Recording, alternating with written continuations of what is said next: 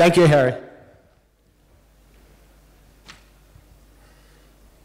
Good afternoon. Um, we'll try to be brief and, and move this along slightly. Um, I've been around the ticketing industry, event ticketing industry, for a dozen, 13 years now. I originally moved to London 11 years ago to run Ticketmaster's European online business. And the ticketing industry is, um, is a little bit of a convoluted value chain. There's a, there's a convoluted back end, and it's been beset by people, uh, artists, promoters, agents, all trying to get the slice of the pie from one another rather than people thinking about growing the pie. There's a great story which I'll tell now, and I'll, I'll apologize in advance if anyone here has heard the story already. Number one, and number two, I'm going to name drop in the story, and, and so you'll be ready for that. When I was at Ticketmaster, there was a guy named Fred Rosen who was the founder of Ticketmaster who ran the company, and Fred got a call one day from the manager of Aerosmith. And the manager of Aerosmith said, Fred, we've got a problem. The band's going out on tour next year and they're very upset because on the last tour, you charged $2 booking fee for each ticket. And it really alienated the band's fans. And they don't like it. And so, you know, on this next tour, we're not going to use Ticketmaster. And Fred thought for a minute and he, he said, I, I totally understand what you're saying. I get it, I get it. So here's what we'll do. On the next tour, we'll charge a $3 booking fee and we'll give the band $1.50. And the band's manager said, Fred, I knew you would understand. We'll see you on the road. and that's how this industry is. So everyone is working to effectively fleece the end consumer. So when we started this business four years ago, what, what did we want to do? We wanted to, number one, protect consumers, right? Everyone's experience of the secondary market is this. You're going into a parking lot with a wad of bills, right? and you've got a 20 stone guy standing there that you're going to hand the bills to for some tickets, and you're hoping they're real, and you're hoping that, you, that you're going to get in, and it's a terrible consumer experience, right? Or you're on eBay or Gumtree, and again, you're sending money over and you're hoping that, that you're going to get what you're paying for. So, number one, we wanted peace of mind. We want to protect consumers, right? Number two, we want to give people choice and optionality around their, their entertainment experience. And I, I think we probably all who go to events have had the experience where Tickets for a band goes on sale nine months before the concert, and you have to decide nine months ahead of time whether you want to go some Saturday in, in August of next year, right?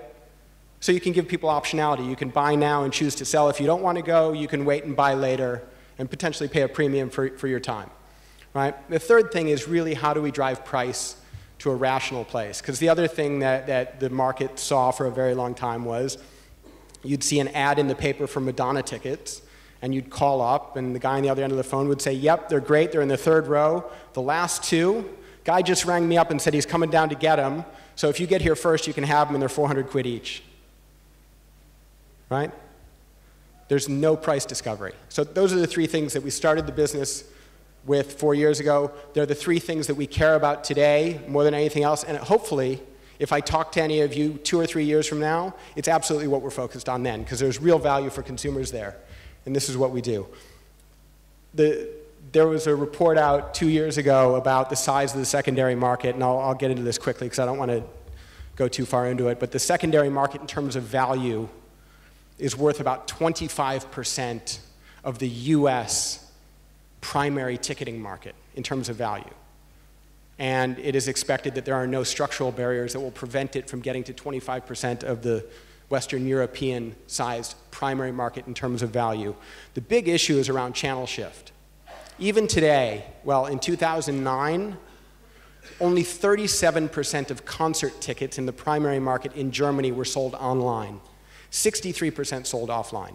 It's staggering that in this day and age, we're still seeing sub 50% penetration for what is effectively a barcode right? So there's a huge channel shift going on. We do the three things that we talked about as a business.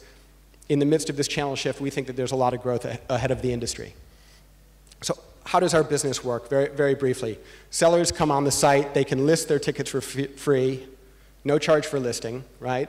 We then have all of the tickets aggregated in a platform and we act as the marketer for that marketplace, for that exchange.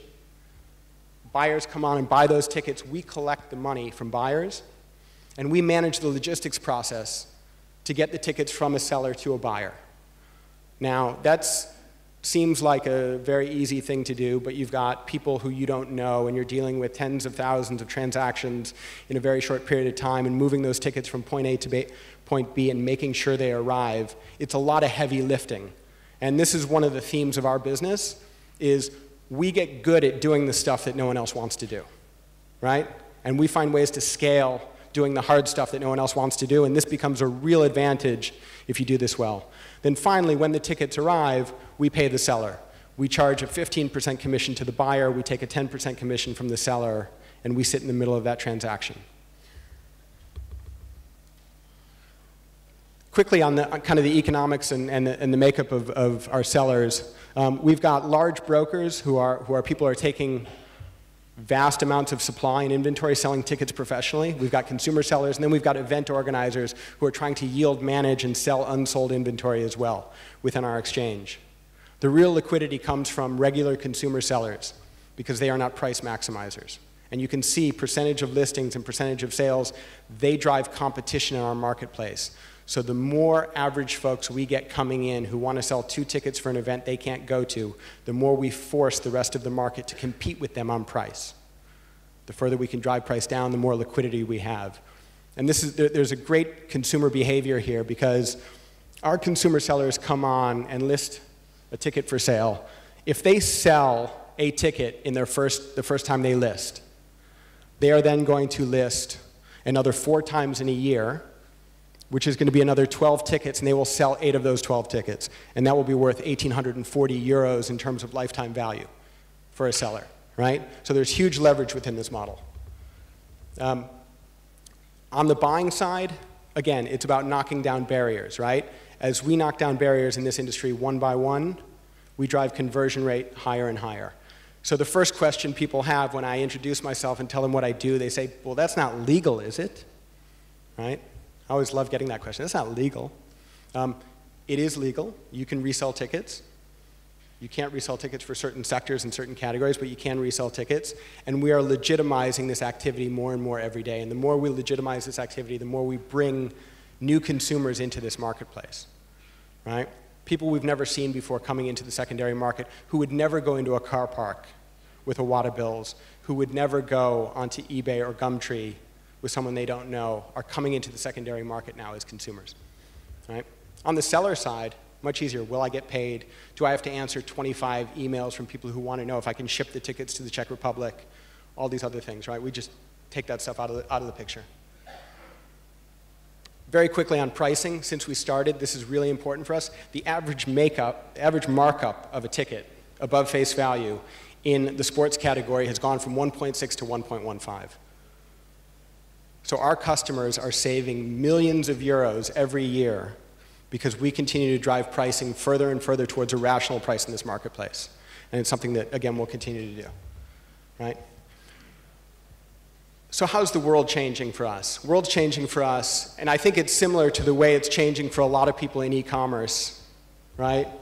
Um, number one reason why people don't go to events is because they don't know they're happening, right?